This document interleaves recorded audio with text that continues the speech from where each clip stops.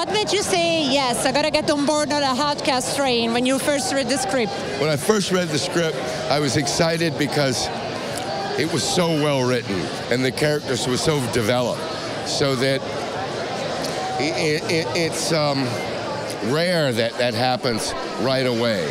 And so instantly I said, I want to be a part of this. Can you give us three reasons why everybody should watch Outcast? Okay. The first reason, it's going to be awesome. The second reason, it's going to be thrilling. The third reason, I'm in it. No. no, it, it, it's hopefully people love it because we really worked hard to make it uh, while being a horror demonic possession, it's still very human, still very character driven, it's still very real.